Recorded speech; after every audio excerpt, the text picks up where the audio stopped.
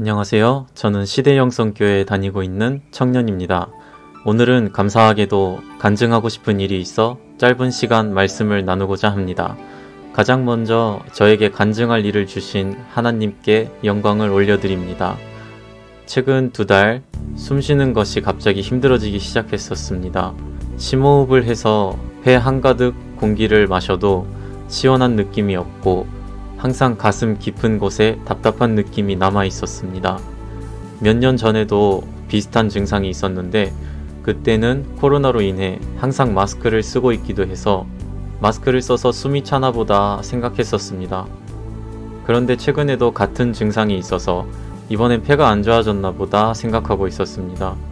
한 달, 두 달 기다리다 보면 낫겠지 생각하고 있었는데 나을 기미가 안 보이고 하루에도 수십 번 심호흡을 하는데도 공기가 가슴을 채우는 느낌이 희미하고 숨이 너무나도 답답했습니다. 그렇게 시간이 지나고 수요 예배 때였습니다.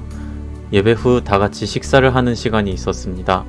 짧은 시간이었지만 여러 사람과 이런저런 이야기를 하는 사이 목사님께서 각 사람에게 안 좋은 곳은 없는지 여쭈어보셨습니다.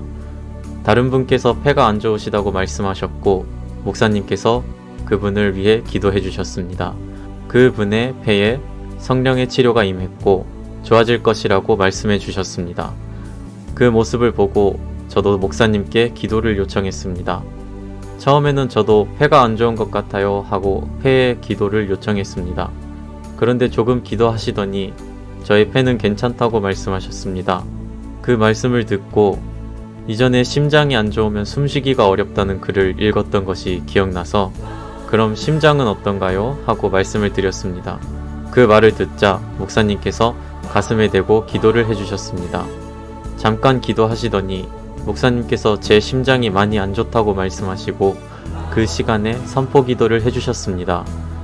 그 순간 아주 뜨거운 성령의 불줄기가 저의 심장으로 흘러들어간다고 말씀하시고 치유가 임한다고 알려주셨습니다.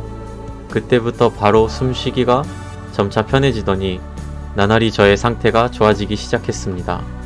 지금은 거의 다 치유되어서 그때의 느낌이 살짝 남아있는 정도고 숨쉬기가 아주 편해졌습니다.